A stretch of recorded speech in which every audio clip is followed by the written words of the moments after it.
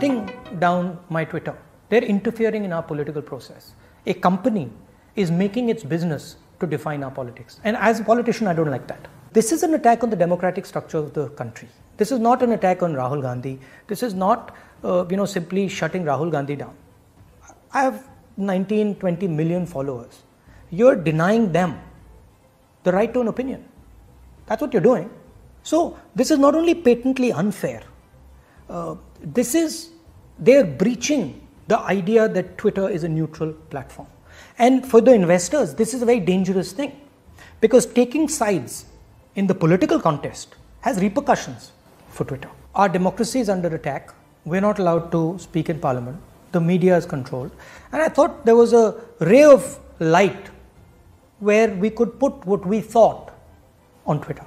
But obviously, that's not the case. It's obvious now uh, that Twitter is actually not a neutral, objective platform.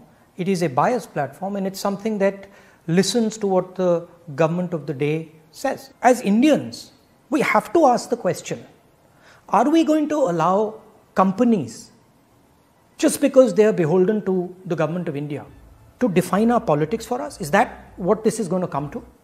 Or are we going to define our politics on our own? Right? That's the real question here.